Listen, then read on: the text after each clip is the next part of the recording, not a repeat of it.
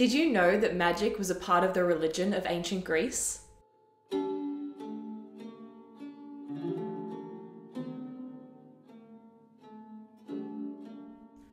Welcome to World History Encyclopedia. My name is Kelly and today's video is all about magic in the culture and religion of ancient Greece. We are going to have a look at the goddess of magic and witchcraft, Hecate, and two of the best known sorceresses from Greek mythology, Circe and Medea. Don't forget, the easiest way to support us is by giving this video a thumbs up, subscribing to our channel, and hitting that bell icon for notifications so you don't miss out on any new uploads. World History Encyclopedia is a non-profit organisation and you can find us on Patreon, a brilliant site where you can support our work and receive exclusive benefits in return.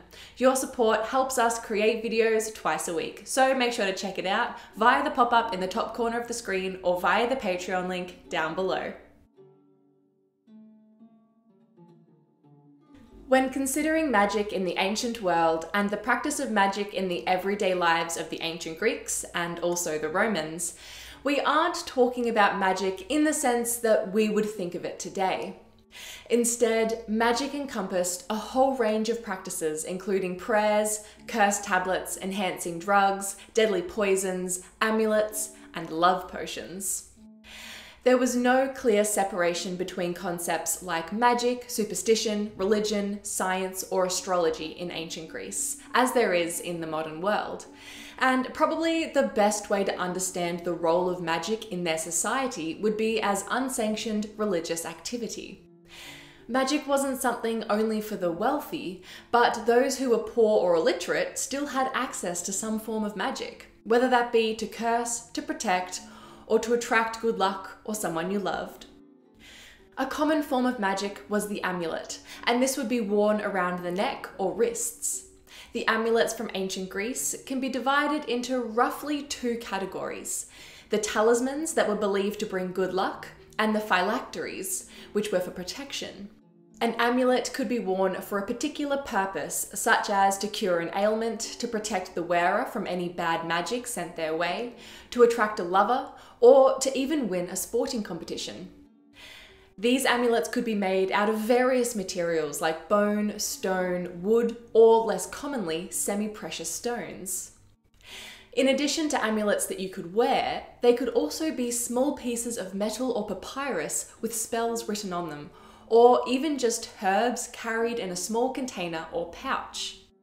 There were also favourable shapes that the amulets could take the form of, including knots, a phallus or vulva, a small hand making an obscene gesture, an eye, sometimes known as the evil eye, or an Egyptian scarab.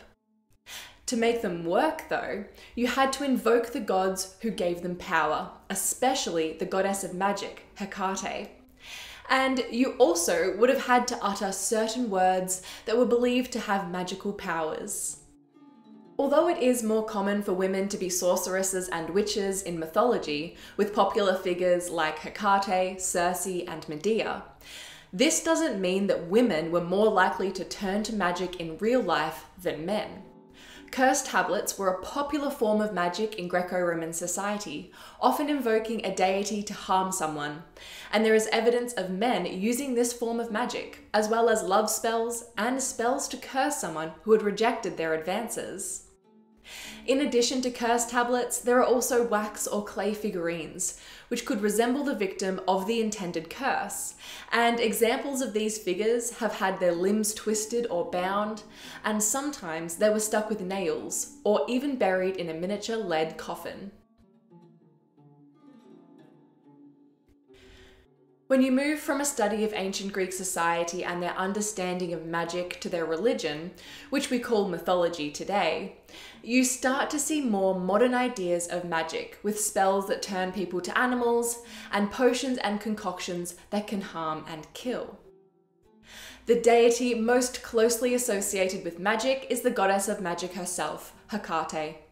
She is not only the mother of or related to many sorceresses and witches in Greek mythology, but she would often be invoked by figures from mythology as they enact some kind of magic ritual or spell.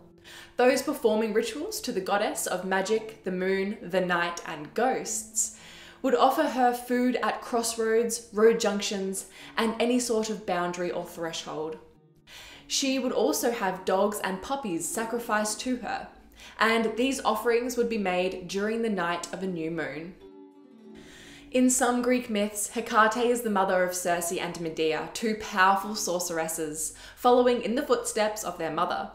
Circe is best known from Homer's Odyssey, when Odysseus and his men end up on the mythical island of Aiaia, the home of the sorceress.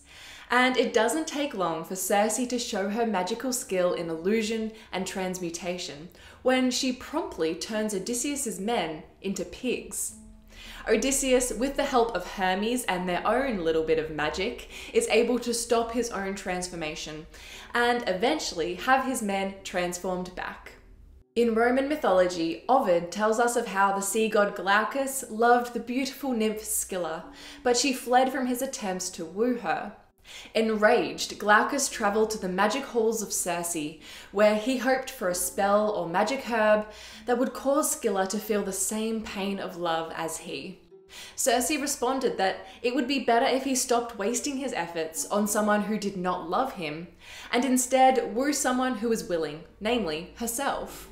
But Glaucus, ignorantly, spurned the powerful sorceress's advances, saying he would sooner love someone other than Scylla than when seaweed would grow on the hills or green leaves grow in the sea. Since Circe still loved the god, she took out her rage at his rejection on his beloved instead of him. She filled the bay Scylla lay in with deforming drugs and spoke the words of an incantation that transformed the nymph into a monster with canines for legs and gaping jaws.